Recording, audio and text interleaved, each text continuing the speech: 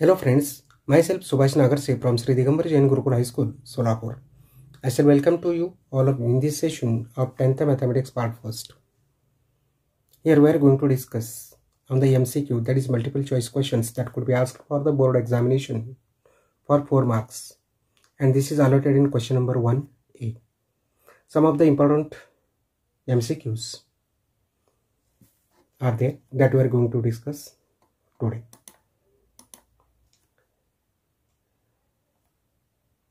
For the practice purpose, this question bank is prepared.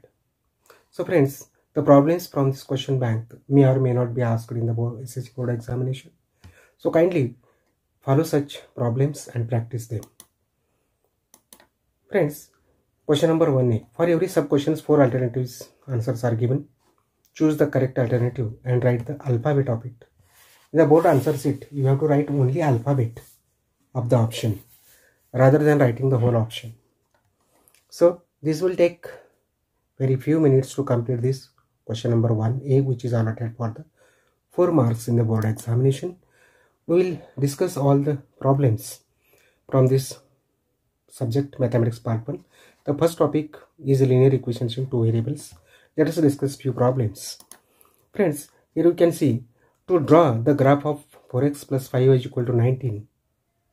Listen, to draw the graph of 4x plus 5y is equal to 19, if x is equal to 1 is taken, then what will be the value of y?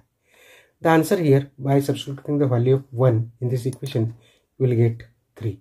So option is B. For the equation with variables x and y, if dx is equal to 26, dy is equal to minus 39 and d is equal to 13, then x is equal to what? Here in this case, we know that in order to find out the value of x, x is equal to dx upon d. So here we'll get the answer as 2. Here dx is 26 and d is 13. 26 upon 13 is 2. Which of the following is a linear equation in two variables? Here we could uh, get that in the option A, y is at the denominator. So it will not be that one. Here the index is 2 and for the linear equation it is not possible. In option D also it is index 2 which is not possible.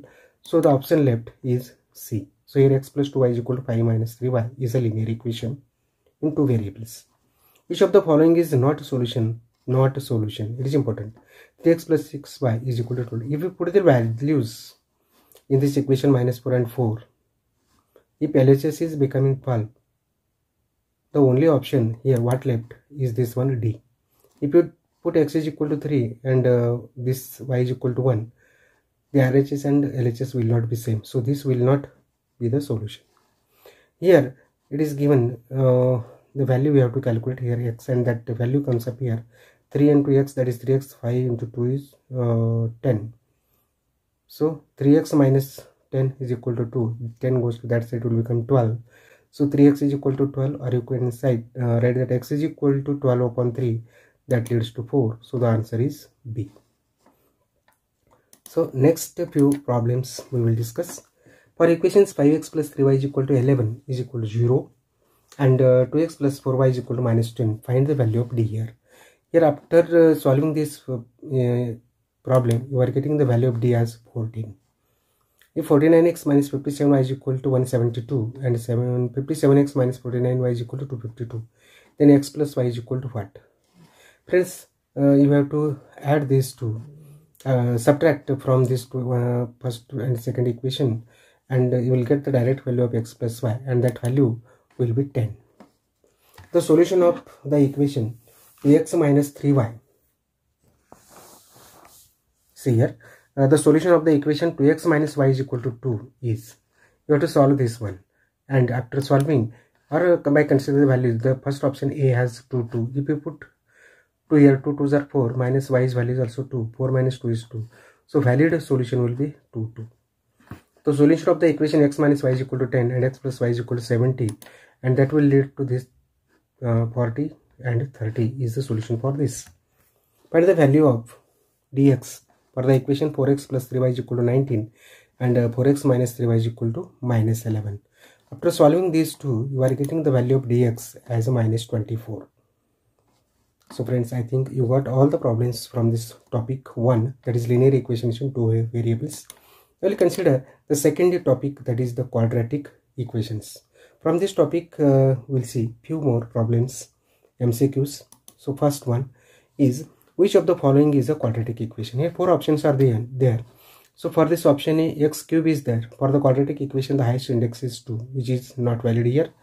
Uh, here x plus y index is 1 this is also not a quadratic equation. Here x raised to 5 d option. So whatever the option left is b. So b is here the quadratic equation which of the following is not a quadratic equation? Not a quadratic equation. This is quadratic equation highest degree is 2 this is also quadratic equation. Here it is 3 here it is 2 so here see option again. Yeah, you are getting as a not quadratic equation.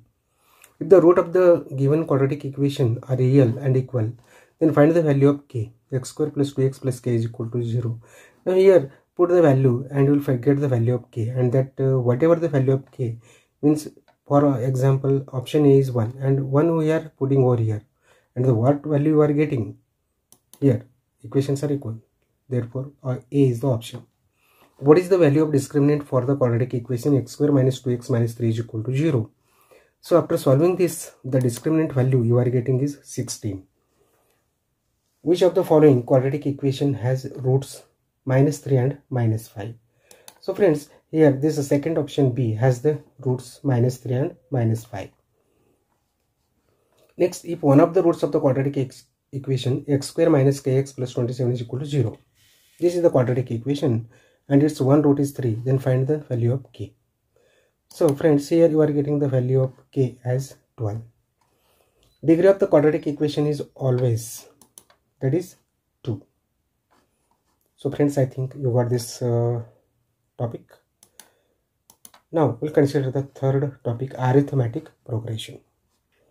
So here we will discuss few problems. In an arithmetic progression 2, 4, 6, 8 and so on the common difference d is we have to take the difference between the adjacent two numbers and the difference 4 minus 2 is 2 6 minus 4 is 2 so the option is here 2 what is the common difference of the sequence 0 minus 4 minus 8 minus 12 like that so minus 4 minus 0 that is minus 4 only. Minus 8 minus 4 minus of minus that plus 4 minus 8 plus 4 that is again minus 4 so the option is b.